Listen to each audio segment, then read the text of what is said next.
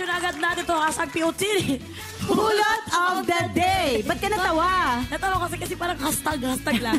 Ito na nga, ang napulot ko this episode mga mamshi is, ngayon sa nalalapit na Pasko, para talagang hindi tayo mag, magpapanik sa mga gastusin, hindi tayo magka-cramming na parang, ay, wala na tayong regalo, wala na tayong pangbigay ng regalo, wala tayong panghanda.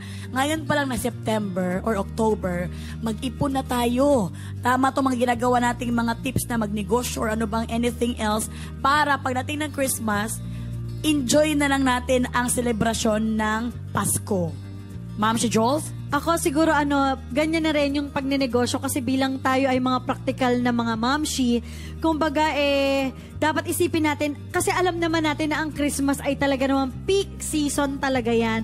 At ah, marami talaga ang mamimili. So ngayon pa lang isipin na natin ano yung mauumpisahan na nating inegosyo para pagdating ng mga October, November, December, wala na. Kumikita na lang kayo kasi di ba na-prepare nyo na yan ngayon pa lang September. Correct! Yes, tama yan. And all year round naman talagang pag-iisip ng negosyo. Yes. Diba, Ma'am si Jules? And syempre, sa Pasko, after ng Christmas season, kasi kung nagnegosyo ka na, at the same time, dun mo na rin kinukuha yung panghanda mo for Christmas and New Year's, diba? Para hindi after nung holiday season, baon ka sa utang. Tama. Oo, hindi po maganda yon So, dapat magaling kang dumiskarte talaga at magaling ka talagang mag-isip ng negosyo. Yan. Ayan! Yes! I'm sure madami din natutunan ng ating mga momshi ngayon sa kanilang tahanan.